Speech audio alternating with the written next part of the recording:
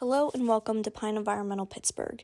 Today I will be showing you how to use and calibrate the Hach 2100Q turbidity meter. So we have a quick card in the case for basic use and function. We also have a manual inside underneath the plastic insert for your reference. We have the unit itself, the turbidity meter. And then there are also Kimtech wipes in the case to use to wipe off the vials, as well as silicone oil. We'll use that later. We also have a foam insert that contains two sample vials and the four calibration standards we'll be using today. So we're going to start by turning the unit on with the blue power button at the bottom. I'm going to start by taking out the calibration standards. I just want to make sure that I know which is which. Each one is different and they will be used in a specific order. So we're just going to take all these out and make sure we're using the correct one first. So to calibrate, we're going to use the left button that looks like a graph symbol. And this screen should appear. It's going to prompt you to insert the 20 NTU standard into the top of the unit. So we're just going to take a look at our sample vials and see which one has the 20 NTU standard in it. Each one should be marked. Once we find which one is the 20 NTU, we're going to gently swirl the vial to get the white powder inside to equally distribute throughout the vial so we can get an accurate reading. Um, never shake these vials, it will create air bubbles, and that can disrupt the calibration reading, which could lead to an inaccurate calibration. So, before we insert the standard, we're going to take out the silicone oil and then we're going to take out the Kim- Kimtech wipes. We're going to use these to wipe down the vial to get a better reading.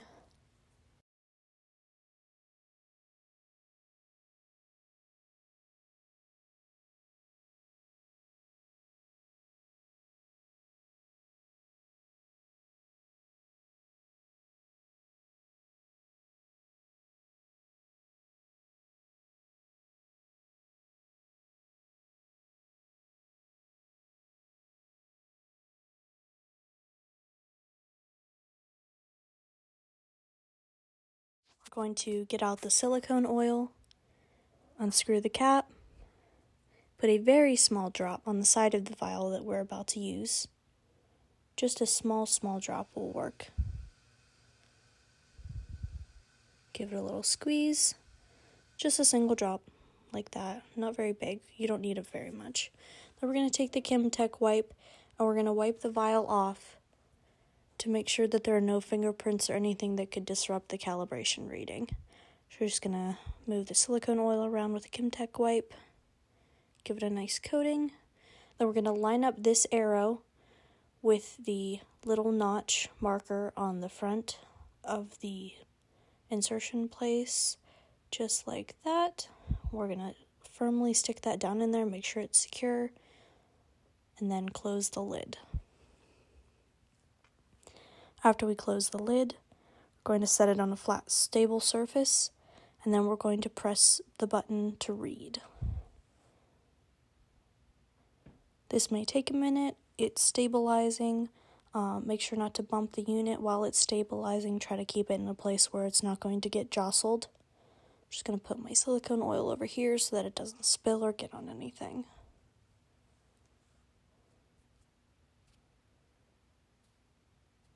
While I'm waiting, I might take out the next calibration standard and make sure it's the correct one. Again, we're just going to gently swirl this to make sure that all of the white powder inside is evenly distributed throughout the water. Please do not shake. Again, air bubbles can cause a misread when calibrating, so just gently swirl until it's there's no more sediment at the bottom of the bottle and it's all evenly distributed throughout the water sample.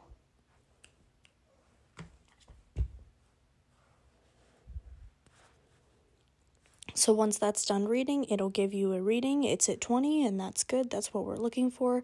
Um, generally, there's a range of error, but if it's anywhere from like 18.6 to 21, generally speaking, that is a good reading.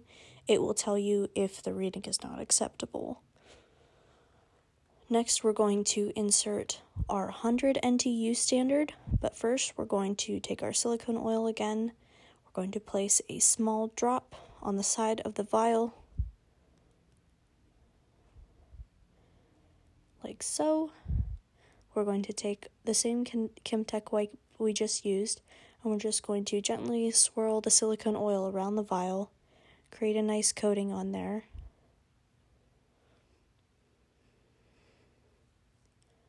After we do that, we're going to line up the arrow with the notch on the hole, and then we're going to insert the calibration standard.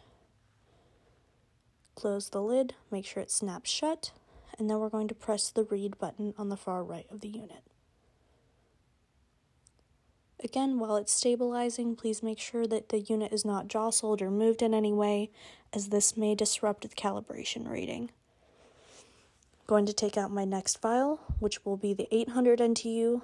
There is much more um, white sediment in the bottom of this, so it may take an additional amount of swirling to get all of that off of the bottom. You want to make sure that there's none resting on the bottom before you do the reading. So just do a fair amount of swirling and tilting of the vial, um, just some gentle agitation, no shaking or any crazy movements, but just combining the sediment in with the water.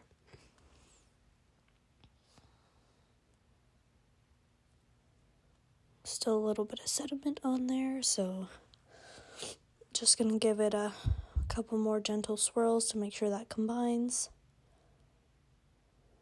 You can also potentially take the vial and just gently roll it in your hands. That can also help.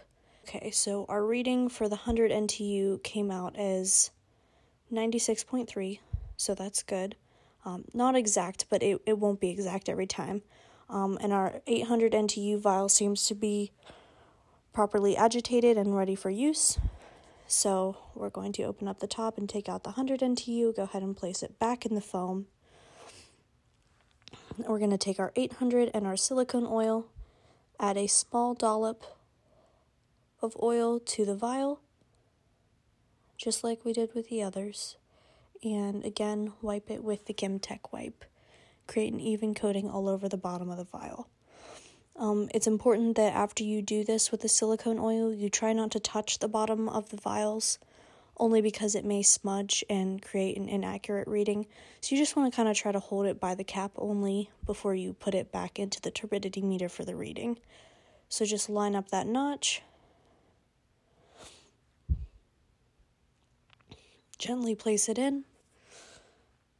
Make sure the cap is secure and press the read button. So it's asking for the 800, so that's what we just put in. We're going to go ahead and hit read and again let it stabilize. Try to jostle it as little as possible. Just kind of let it be until it completely stabilizes and gives us the reading. Looks like our reading has stabilized and is complete. 806, that is a pretty good reading, well within the uh, accepted guidelines of the unit. So there is one last step to complete this calibration. We're going to remove the 800 NTU, place it back in the foam insert, and next there will be a final vial which says 10 NTU on it. That will be our verification standard. So we're going to gently swirl. It shouldn't take very much. This one has the least amount of um, sediment in the bottom, so shouldn't take very much to agitate it and get it combined. You may not even notice any in there, but I assure you it is there. We're going to repeat the silicone oil wipe down that we did with the rest of the vials for our reading.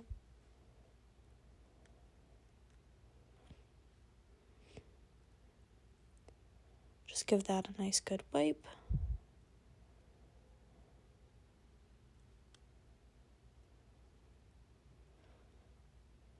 And then we are going to put that in the unit. We're going to line up the little line with the notch. So you're going to hit done to save the results before we insert. Um, those are the readings that we got. We're going to click store on the right. It's going to ask then for the 10 NTU verification standard. When it does that, we already have our vial prepped, so we can go ahead and insert that ensure it's the 10 NTU that you're using. Go ahead and place that in, snap down the lid, and press read. And then this will just take a minute to stabilize. So I'm going to take that time to get my silicone oil put back together, ready to put back in the case.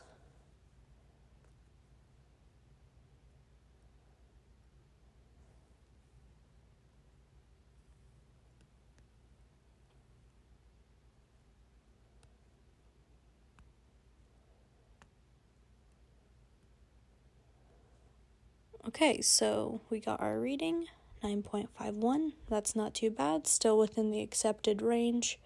Um, the unit has a range that it will allow the calibration standards to be in.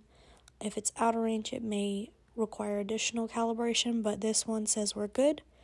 So it's within the 9 to 11 range. All good. So we're going to press done after we remove the vial. Place that back in the foam insert.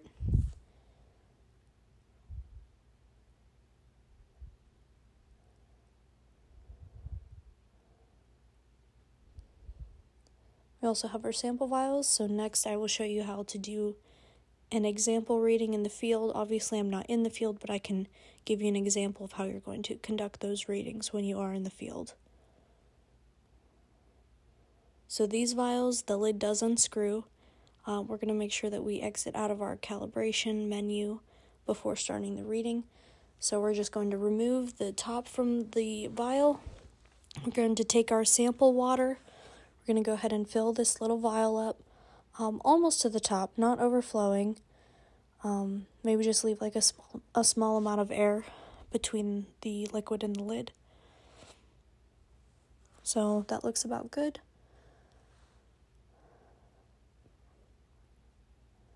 Going to reattach the cap, make sure it's good and tight.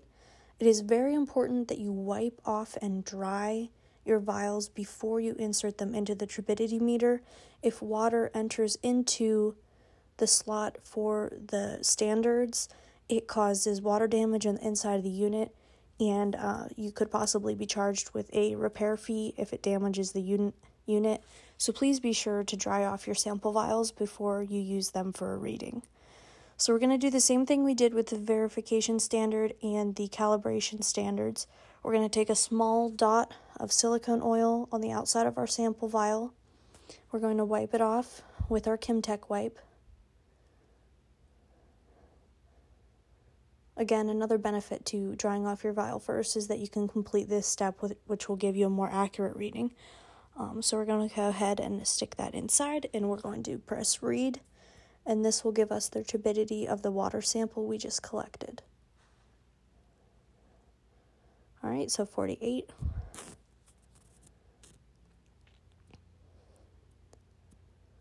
So 48 is the turbidity of the sample that we just tested. I'm going to go ahead and unscrew the top and dump my sample out back into my collection cup. Make sure I get as much of it out as possible. Dry off the vial a bit and reattach the lid. I'm going to dry it off again before I put it into the foam insert. Just make sure that there's not a, a wet mess on the foam insert.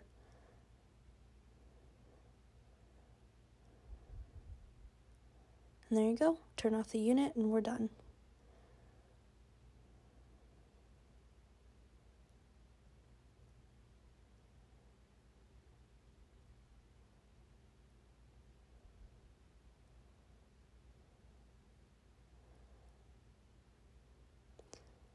And then I'm just going to place everything back in the case. The silicone oil goes in the slot underneath the unit. The foam insert goes in the slot next to the unit. And then we can just discard this Kimtech, Kimtech wipe. It's disposable. We don't need it back. Um, you can go ahead and throw that away.